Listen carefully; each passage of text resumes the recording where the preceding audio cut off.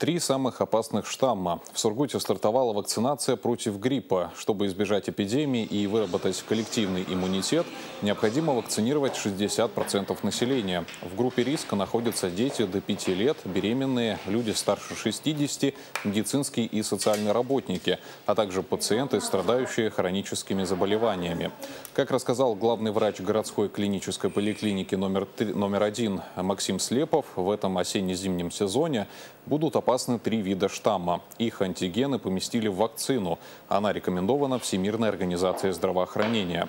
Во все поликлиники Сургута доставили 92 тысячи доз препарата «Савигрипп» для взрослых и почти 16 тысяч компонентов для детей и беременных.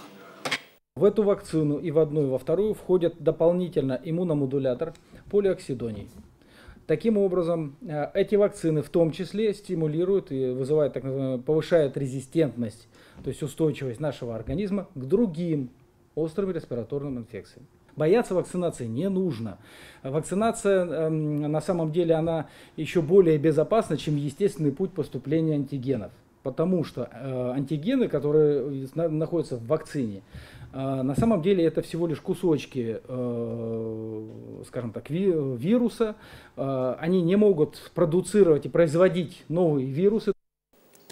Максим Слепов на своем примере рассуждает о безопасности вакцинации. Он привился как от гриппа, так и от коронавируса. По его словам, совмещать эти прививки можно. Единственное условие – между процедурами должен пройти месяц.